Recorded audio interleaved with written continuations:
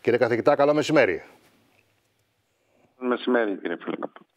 Ε, να πάμε... Καλό σας μεσημέρι. Πώς είστε. Μια χαρά εσείς. Ε, να ξεκινήσουμε σας παρακαλώ με τα όσα συμβαίνουν στην Αμερική και με τις εκλογές. Τι βλέπετε, γιατί πλησιάζει τώρα, είμαστε 5 Νοεμβρίου, είναι λίγες ημέρες πια που έχουν μείνει.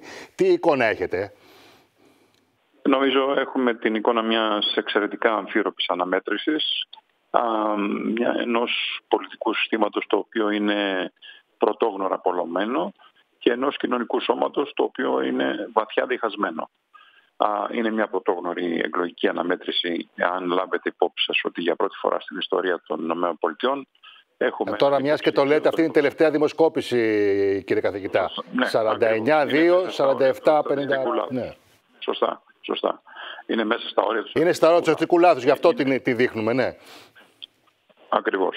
Και θα, θα προσέθετα παρενθετικά ότι δεν έχει και μεγάλη αξία η δημοσκόπηση υπό την έννοια ότι δεν έχει τόσο μεγάλη σημασία το τι θα γίνει στην ε, ε, λαϊκή ψήφο όσο το τι θα γίνει στις 7 κρίσιμες πολιτείες οι οποίες μπορούν ουσιαστικά να ρυθμίσουν το αποτέλεσμα στο κολέγιο των εκλεκτόρων.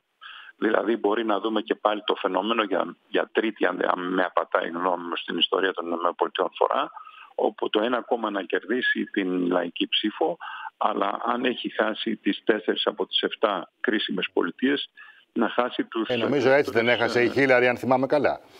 Ακριβώς, ναι. ακριβώς. Αλλά ε, και έχει γίνει και στο παρελθόν. Ναι.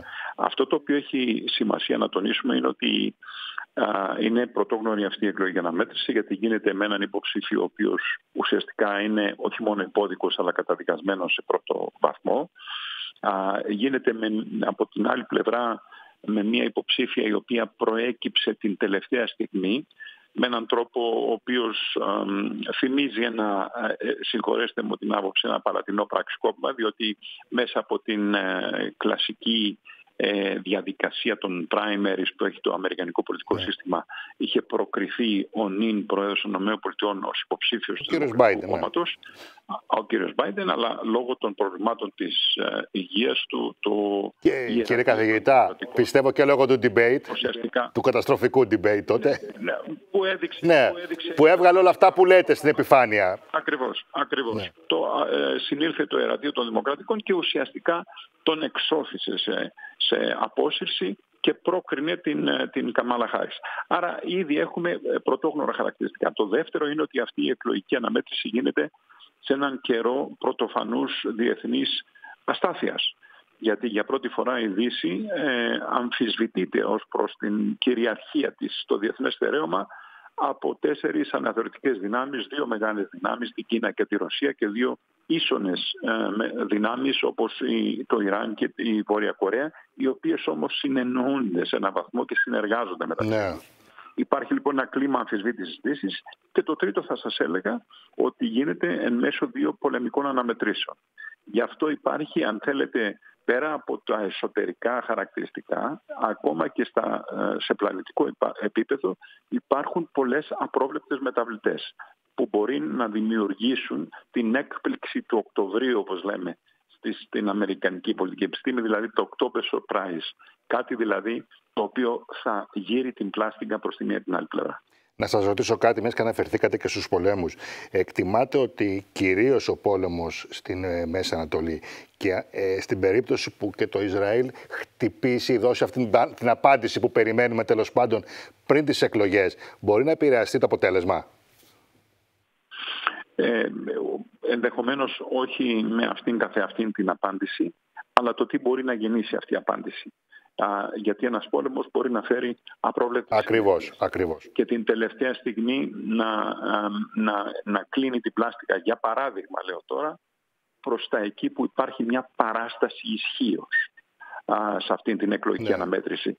Συνεπώς είμαστε ακόμα σε χαρτογράφητα νερά, ακριβώς γιατί υπάρχει το, το στοιχείο αυτής της αμφίροπης αναμέτρησης και υπάρχουν τόσες πολλές απροσδιόριστες μεταβλητές. Τώρα, επειδή υπάρχουν όλες αυτές οι απροσδιόριστες μεταβλητές όπως μας το περιγράφετε, την κίνηση να δώσει η Αμερική τώρα, πριν τις εκλογές, αυτό το υπερσύγχρονο αντιπυραυλικό σύστημα στον ε, Νετανιάχου, πώς την είδατε; Κοιτάξτε, αυτό είναι μέσα στα πλαίσια της α, πολιτικής που έχει χαράξει η νυν κυβέρνηση, αλλά θεωρώ ότι δεν θα μεταβαλλόταν σημαντικά αν ήταν και κυβέρνηση το κόμμα των Ρεπουμπλικανών. Ναι. Και αυτή η πολιτική έχει να κάνει με την απόλυτη στήριξη ε, του, του Ισραήλ, κυρίως σε επίπεδο αυτοπροστασίας.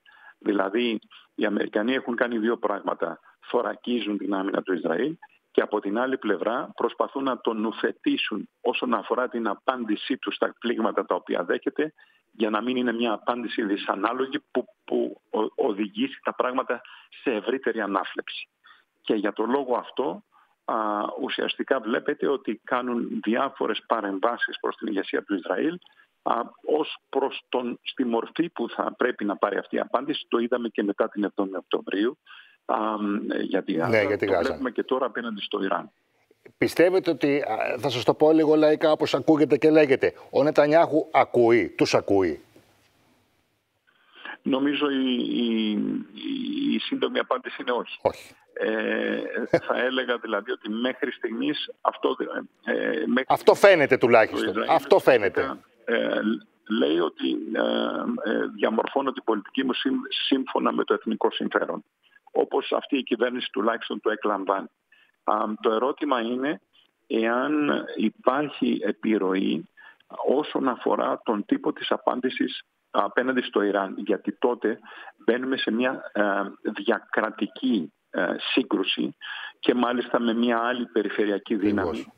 Είναι άλλο το επίπεδο πια, έτσι είναι κύριε καθηγητά, άλλο το επίπεδο. Ακριβώς. Και για, για να καταλάβουν οι τηλεθεατές μας, εάν χτυπηθούν α, ενεργειακές πηγές, αυτό μπορεί να έχει πλανητικές συνέπειες. Ακριβώς. Δηλαδή την αύξηση των τιμών πετρελαίου που μπορούν να επηρεάσουν... Με ό,τι σημαίνει αυτό για την αλυσίδα τον, ε, την καταναλωτική. Ακριβώς. Κάτι τέτοιο δηλαδή εκφεύγει πλέον μόνο από τα όρια του πώς το Ισραήλ εκλαμβάνει το εθνικό συμφέρον, αλλά πρέπει να λάβει υπόψη του και το πώς επηρεάζονται και τα εθνικά συμφέροντα άλλων μεγάλων δυνάμεων. Όπως επίσης άλλη τάξη θέμα είναι το να χτυπήσουν το πυρηνικό πρόγραμμα του Ιράν. Ακριβώς. Ακριβώς και αυτό. Και εκεί βρίσκεται, η, αν θέλετε, το, το, η ουσία της αμερικανικής παρέμβασης. Μάλιστα. Τώρα, μία ερώτηση για να κλείσουμε, σας παρακαλώ, γιατί ξέρω ότι έχετε και δουλειά και σας ευχαριστώ πολύ που ήσασταν κοντά μας σήμερα. Εάν εκλεγεί ο κύριος Τραμπ, και ρωτώ αν εκλεγεί ο κύριος Τραμπ, ε, γιατί οι δημοκρατικοί ξέρουμε πώς το έχουν πάει μέχρι τώρα. Για τις ανατολικέ σχέσεις θα δούμε κάποια διαφορά. Και το ρωτώ με βάση το δεδομένο των παλιών καλών σχέσεων. Γι' αυτό το ρωτώ. Νομίζω πως όχι. όχι. Και θα σας πω, θα σας πω τι εννοώ. Ναι οι ελληνοαμερικανικές σχέσεις βρίσκονται στο καλύτερο δυνατό επίπεδο σε όλη τη διάρκεια της μεταπολεμικής μας ιστορίας. Ναι. Δεν χωράει πολύ από αυτό. Την ίδια στιγμή οι Αμερικάνοι έχουν φτάσει στο συμπέρασμα ότι η Τουρκία είναι ένας αναξιόπιστος σύμμαχος.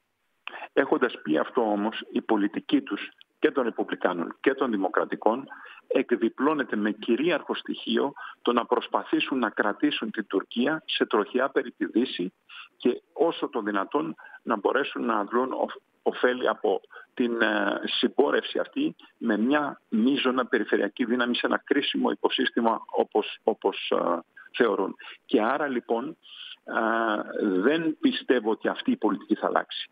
Θα συνεχίσουν να προσπαθούν να κρατάνε την Τουρκία σε μια τροχιά γύρω από τη Δύση. Αυτό αντιλαμβάνεστε ότι έχει επιπτώσεις για μας, διότι η Τουρκία αναπτύσσει μια αναθεωρητική και επεκτατική πολιτική. Και αυτό μας επηρεάζει. Γι' αυτό ε, λέμε ε, πάντοτε ότι ναι στα κανάλια της επικοινωνίας να είναι ανοιχτά, από την άλλη πλευρά όμως πρέπει να έχουμε μια ε, αξιόπιστη αποτρεπτική στρατηγική. Και φυσικά παραμένει, νομίζω αυτό δεν έχει αλλάξει μέχρι τώρα, ότι το μόνο θέμα που λέμε και όλες οι κυβερνήσεις της Ελλάδος, ε, μία διαφορά έχουμε, αός φαλοκρηπίδα δεν συζητάμε κάτι άλλο. Ακριβώς. Έτσι δεν είναι; Ακριβώς. Ακριβώς. Ακριβώς. Μάλιστα. Κύριε Βανιτόπουλε, κύριε καθηγητά, ευχαριστώ πάρα πολύ για τη συνομιλία. Να είστε καλά. Σας ευχαριστώ θερμά. Εγώ, καλό μεσημέρι.